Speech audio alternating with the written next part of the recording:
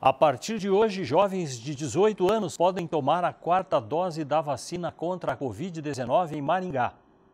A Secretaria de Saúde de Maringá começa hoje a aplicar a quarta dose da vacina contra a Covid-19 em pessoas com 18 anos ou mais. É importante que estas pessoas compareçam até as UBSs e levem carteirinha de vacinação, documento com foto e também o comprovante de residência. A vacinação está disponível nas 31 UBSs, unidades básicas de saúde aqui de Maringá. Outra orientação da Secretaria Estadual de Saúde é a baixa adesão da vacinação das crianças, ou seja, a Secretaria está fazendo um alerta para os pais levarem os seus filhos até as UBS. Segundo informações da Prefeitura de Maringá, a nossa cidade já vacinou mais de um milhão de pessoas. Desses, 376 mil com a primeira dose e 355 mil com a segunda dose, 9.500 com a dose única e 316 mil com a terceira e quarta dose. Estas são as informações, então, só para reforçar, a partir desta sexta-feira, quarta dose disponível para pessoas com